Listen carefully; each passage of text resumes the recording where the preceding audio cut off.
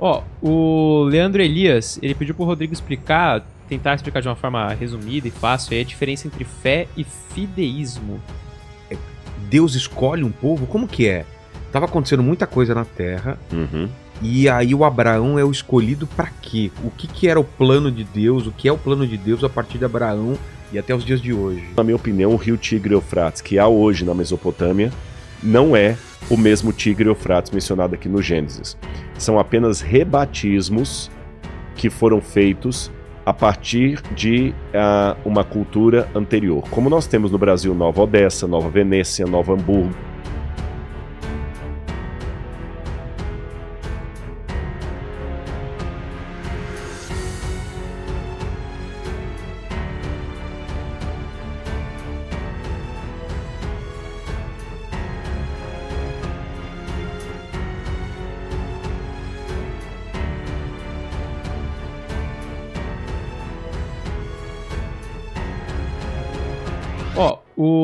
Leandro Elias, ele pediu pro Rodrigo explicar, tentar explicar de uma forma resumida e fácil, aí a diferença entre fé e fideísmo.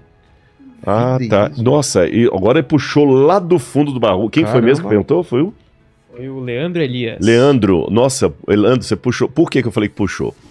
Porque eu falei só acidentalmente no programa do Jô, num dos três aí. É, eu falei, não, a fé ela demanda evidências e tudo mais. Ele falou assim: não, Rodrigo, essa é a maior antifrase que eu já ouvi nesse programa. Imagina no finalzinho ali, É. não é podcast que pode chegar mais meia hora de explicação. Tem tempo certo. Aí eu falei, sim, Jô, porque se não for assim, não é fé, é fideísmo. Porque a ideia que a gente tem de fé é acreditar sem ver. É, aí o Jô tomou um susto assim, falou, nó, cara, ele até brincou, você é o cara mesmo. Ele, ele ficou satisfeito com a resposta na lata, assim. É, e depois no meu livro, O Ceticismo da Fé, que eu já até trouxe uma vez aqui pra você, eu tenho um capítulo que eu explico ali, então vou tentar resumir pro Leandro aqui, pra galera, de maneira bem simples. Você tem é, um livro do é, a Quincas Borba, do, do Machado de Assis, que ele fala do Rubião, tem um personagem lá do Quincas Borba que é o Rubião. E tem uma frase do Machado de Assis que fala o seguinte: Rubião, o sujeito mais crédulo do que crente. Olha que frase interessante. Sujeito mais crédulo do que crente. É, a Bíblia fala que a fé ela tem que ter um fundamento. Senão, ela é crendice, não é fé. Eu vou explicar numa parábola e vocês vão entender. Suponhamos que eu esteja num, num prédio e está pegando fogo. E eu tentando sair daquele prédio ali, pegando fogo e tudo mais e tal. E de repente eu estou querendo ir para lá, para aquela porta, para abrir a porta e sair. Mas o meu instinto de sobrevivência está mandando para lá. Só que atrás da fumaça aqui surge um camarada do corpo de bombeiros, com a roupa, a máscara, e ele grita para mim e fala assim: Rodrigo, não! O, o- fulano, ele não sabe meu nome, né? Não abre. Não abra. Abaixa e volta comigo agora. Se eu for inteligente, eu vou obedecer aquele bombeiro, vou sair engatinhando com ele e vou onde ele me levar. Mesmo com o meu Seguindo instinto, esse- Seguindo instruções dele. seguindo instruções dele. Não dá tempo dele me dar explicações e arrazoados. Não dá. Por que você tem que fazer Por que, que eu tenho. Vamos, vamos- quais são as opções? Peraí, me dá opções aí. Por que para lá não para cá? Não tem jeito. Nesse caso, eu estou obedecendo ao bombeiro pela fé. Porque eu não tive todas as explicações. Mas não é uma fé gratuita. Para depositar fé naquele homem desconhecido, eu tenho, antes daquele episódio, um conhecimento racional que bombeiros são treinados para lidar com incêndio, que o bombeiro sabe o que está fazendo, que o bombeiro está ali para me proteger. Então, se ele pediu para eu não abrir a porta, deve ter alguma explicação que eu não tenho. Às vezes um- o oxigênio vai vir uma labareda de lá, alguma coisa assim. O técnico sabe o que eu não sei. E pela fé eu obedeço. Mas não é fé cega. Agora eu vou mudar a, a cena. Eu estou de novo no meio da chama, tentando escapar de acordo com o meu senso de proteção, de Instinto. sobre, meu instinto de sobrevivência. E vem uma menina completamente louca, que eu sei que ela é, ela é doida, psicodélica, ela não bate bem da, da, da cabeça, e ela vai assim: Ei, vem cá, me dá a mão, vamos sair voando pela janela. Se eu desistir do que eu tava fazendo e dar a mão pra menina, aí eu tô sendo louco, eu tô tendo fideísmo. Ou crendice. Ou se, embora você vai ter é, Kierkegaard, que vai elogiar o fideísmo, É. Soren Kierkegaard, mas eu discordo dessa postura dele, não vou entrar nos méritos da questão aqui, mas para mim, essa atitude, veja bem, a atitude é a mesma. Deixar de fazer o que eu estava fazendo, de- abandonar o meu instinto de sobrevivência para seguir alguém. Só que no primeiro caso, eu tenho um exemplo de fé. No segundo, eu tenho um exemplo de fideísmo, ou de crendice. De Exato. fé que dispensa é, é, qualquer evidência. Mesmo o Soren Kierkegaard, que elogiava o, o fideísmo, ele falava muito do pulo no escuro. Jump of the faith. Que a fé é o pulo, o salto. O salto. Só que você sabe, para eu saltar, eu tenho que ter uma plataforma debaixo do meu pé. Se eu, se eu não tiver uma plataforma livre, eu não tenho como saltar, você não tem como pular de dentro da água. É. Você não tem como pular na água, você tem, você tem que ter uma plataforma. Então essa plataforma, ela é racionalmente formada antes da crise, para que quando a crise venha, eu saiba como agir quando eu não tiver respostas. Então Deus é uma fé que eu vou adquirindo nele como a do bombeiro. Eu sei que Deus é Deus. Porque se eu não tiver evidência nenhuma de Deus, qual a diferença entre Deus e o Thor? É. Qual a diferença do Deus da Bíblia e o Hulk ou, ou, ou o Loki? Você tá entendendo? Nenhuma. Nenhuma. Eu tenho que ter racionalmente bem claro por que, que eu pego esse livro e sei que aqui é a palavra da salvação e não faço o mesmo com os livros da Marvel, que também estão cheios de histórias de deuses, ou da mitologia, ou da Ilíada de Homero, ou da Eneida de Virgílio, não é? Então tem que ter isso bem claro. Essa é a diferença, em poucas palavras, de fé e fideísmo. A- tanto é que se você pegar na língua grega a palavra fé pistes e olhar no dicionário grego, que é a, a- a palavra que o Novo Testamento usa para fé, a palavra pistes é assim: certeza, é, como é que é? É convicção, não, certeza que vem da possibilidade de convicção. Da possibilidade. Tá. Ou seja, tudo o que eu entendo e conheço aponta para isso aqui. Então a fé ela é racional. Poxa, essa é uma explicação bem diferente do que eu imaginava mesmo. É. Ela tem que ter uma base. Tem que ter uma base. Senão, qual a Cara, diferença eu entre tenho o uma bom? Bíblia, eu tenho testemunho, eu tenho experiências, portanto, eu tenho fé. Não é uma fé do nada. Do Hoje nada. eu decidi que vou acreditar em Deus. Por quê? Ah, porque é isso. Se eu não tivesse essa fé estabelecida como eu coloquei, eu não saberia qual a diferença entre a menina psicodélica e o bombeiro. É.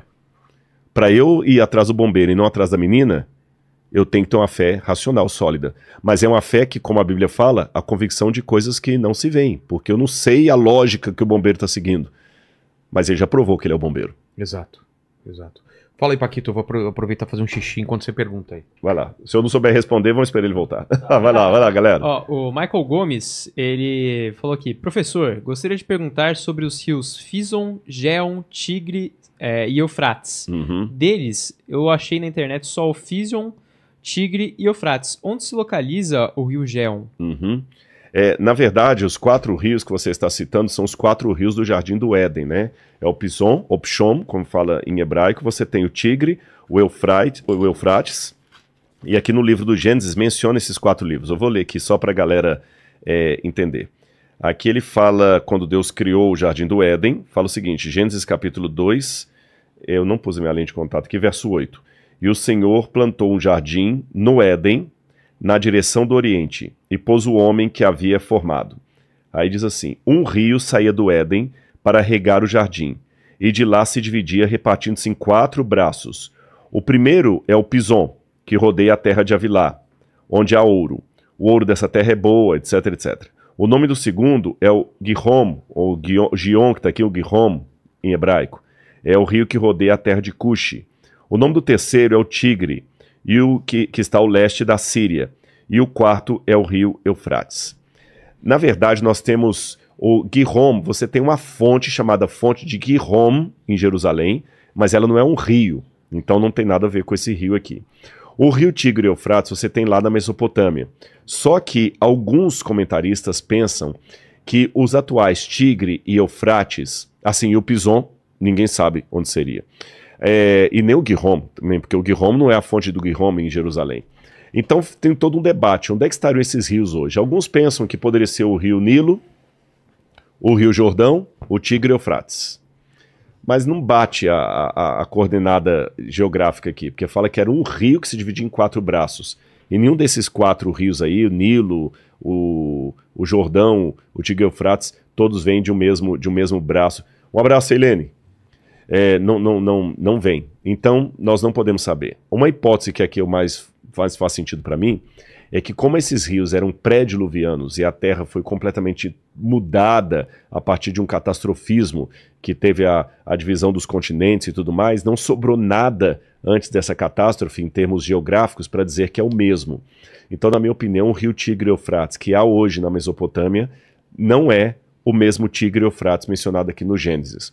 São apenas rebatismos que foram feitos a partir de uh, uma cultura anterior. Como nós temos no Brasil Nova Odessa, Nova Venécia, Nova Hamburgo, Nova Friburgo, mas todas essas cidades, na verdade, são apenas rebatismos locais de cidades europeias.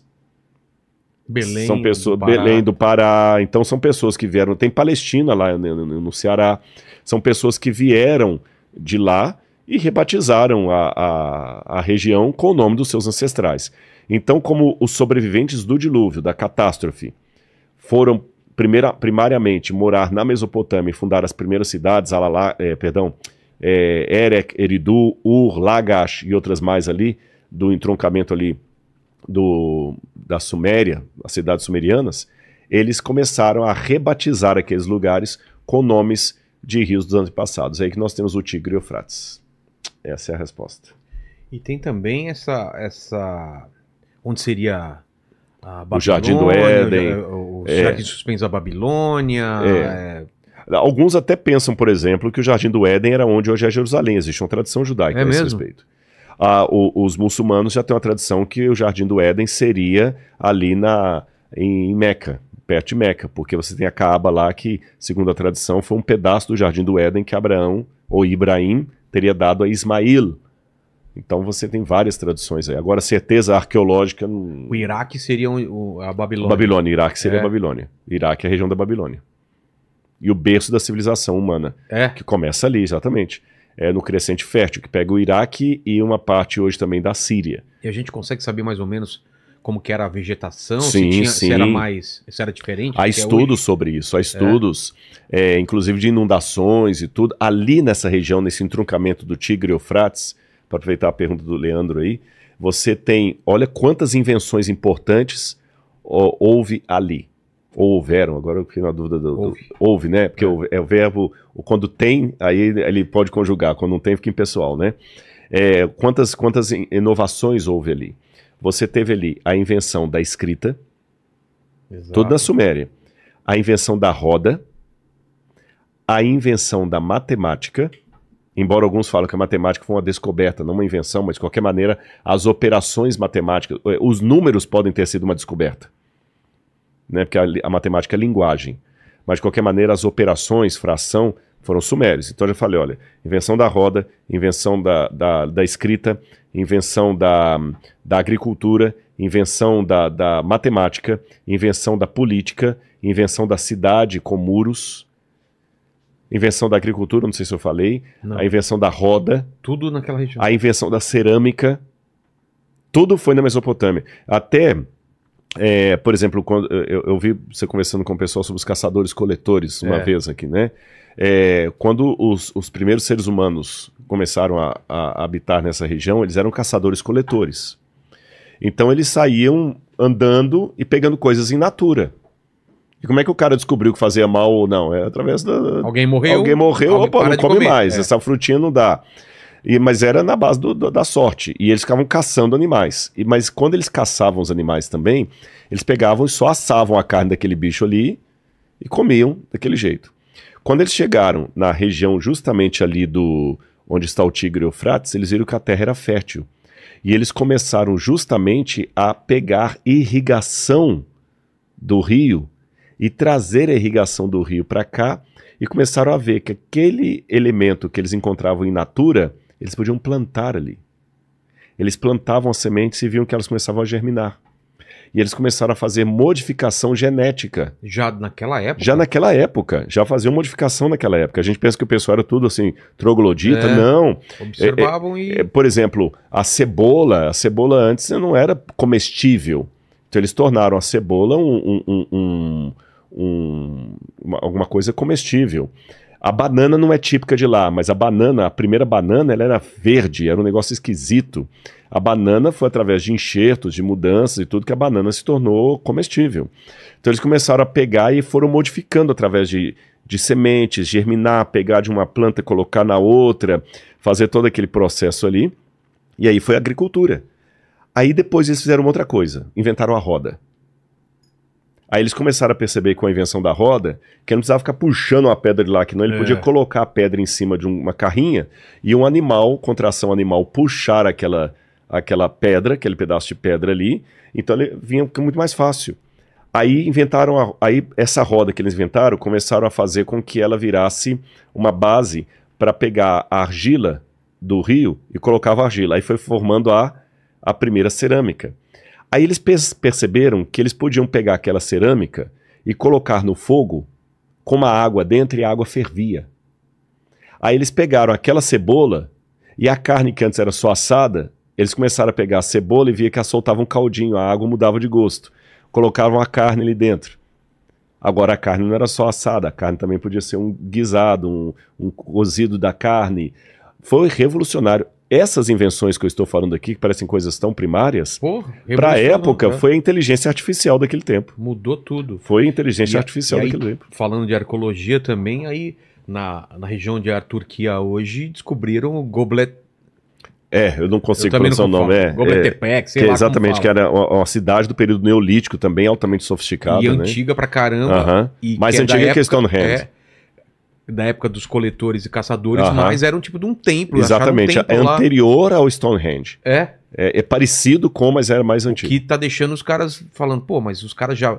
Eles paravam então em algum lugar pra construir um templo. Exatamente. E- Tem uma cooperação. E são vários, lá. né? São vários É. assim, e você vê por cima. Ainda há muitos mistérios do passado Isso, da isso que eu humanidade. queria né? saber, o que, que a gente tem de relacionado à Bíblia, de escavações, de coisas em cursos, de teoria.